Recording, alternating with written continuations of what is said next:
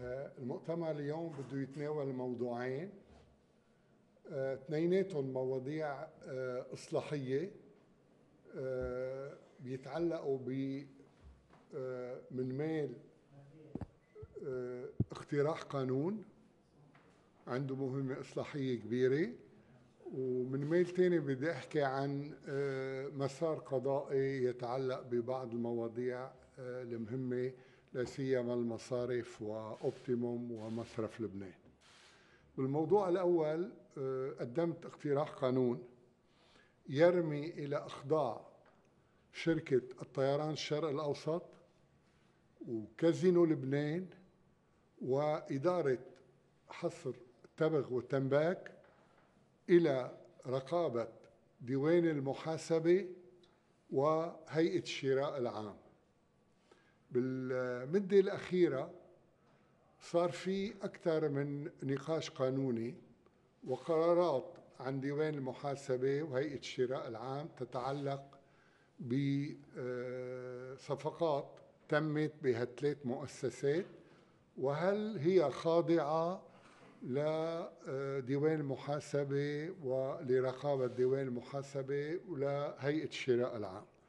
ومنعا لأي لغط ولأي اجتهاد قانوني تقدمت أنا بهالاقتراح اقتراح قانون آمل إنه بأسرع وقت أن يقر لأنه هو آه، معجل مكرر يرمي إلى إخضاع آه، الطيران الشرق الأوسط إدارة التبغ والتنباك آه، وكازينو لبنان إلى رقابة ديوان المحاسبة.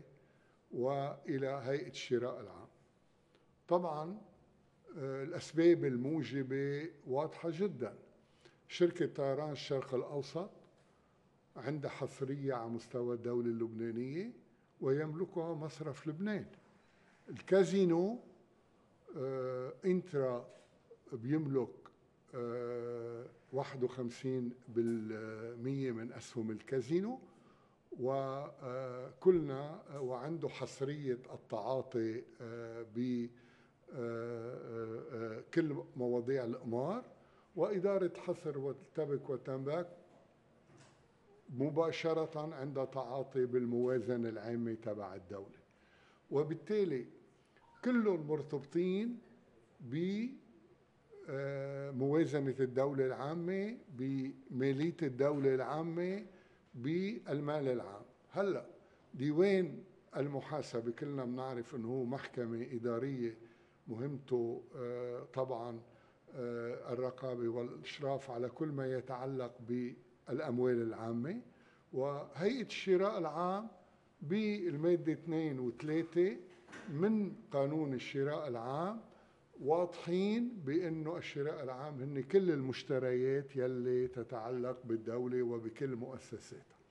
وبالتالي كان من الضروري إخضاع هالشركات أو هالادارات للرقابة من مال ولكل مشترياتهم يصيروا وفقا لهيئة الشراء العام.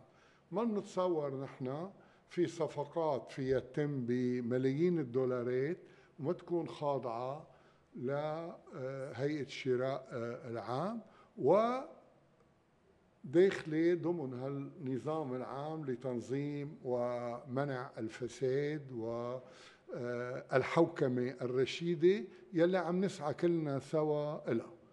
أنا بتأمل أنه من الزملاء النواب طبعا من رئيس المجلس كونه معجل مكرر يكون على أول جدول الجلسة العامة وأن يقار بسرعة لأنه لا يكفي أن نتكلم آه، بشعارات عن الإصلاح.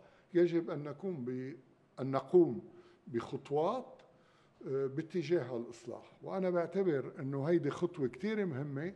كلكم بآخر مدة آه، تعرفوا كل اللغط الداير حول طيران الشرق الأوسط وأمورها كلكم تعرفوا القضايا الدايرة حول الكازينو وقصة القمار وال وكل المناقصات الصارت والقال والقيل منعا لكل هذا الكلام لأنه بالنتيجة مش المهم نطلق شعار ولا المهم نقعد نقول آه، عملوا إصلاح وهون في فساد وهون في مشكل بدون ما نلاقي الحلول لحتى نحط الأمور باطارها الصحيح. وأنا بعتبر هذا الاقتراح يوضع الأمور باطارها الصحيح.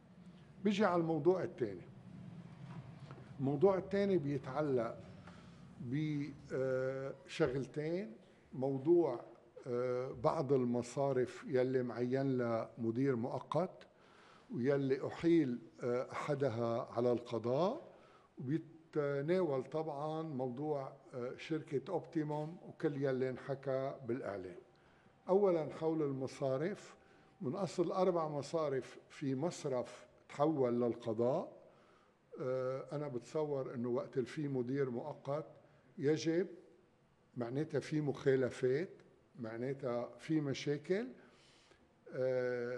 في مسؤولية إنه كل هالمصارف لأنه نحن بوضع نعرف كلنا وضع المودعين نعرف سرقة العصر نعرف كل يلي صار.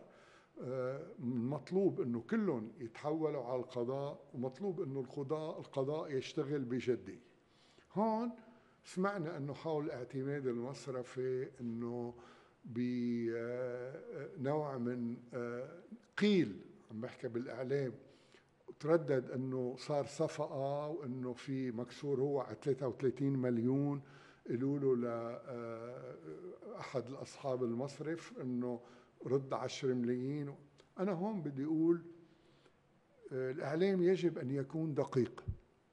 أنا اللي بعرفه إنه هذه القصة هي قيد التحقيق بالنيابة العامة التمييزية. وأنا بتمنى إنه قبل ما هالقصة يطلع فيها قرار واضح من مدعي عام التمييز أن لا نتسرع باجتهادات وأقاويل لا سيما أنه مدعي عام التمييز يلي تكلف مؤخرا يلي هو رئيس حجار قاضي مشهود له بمناقبيته بجديته والحمد لله حتى اليوم رغم وجوده إلى مدة طويلة عريضة بالقضاء ما في آه، أي إن لا سمح الله حول منه. لذلك أنا عندي كل الثقة إنه هو من القضاة يلي يدرس ملفاته بإمعان وأنا بقدر أكد أنه هيدا الملف أو غير ملفات عم تندرس من قبله بإمعان قبل ما نحكم لاحقين نحكم بس قبل ما نحكم خلينا ننتظر نشوف مقال القضية بهالأسبوعين لوين رايح؟ لأنه رح يكون في جلسات.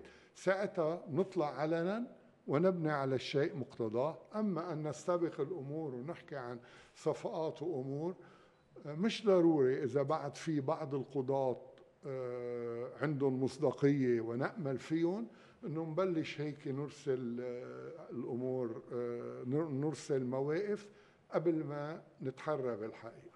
وبالموضوع ذاته بدي أحكي عن شركة أوبتيموم صار في تداول بوسائل الإعلام واليوم يعني دارجة وبتصور ما حدا بيقرأ إلا محلل فيه شغلات هيك بتصدم فضايح كبيرة.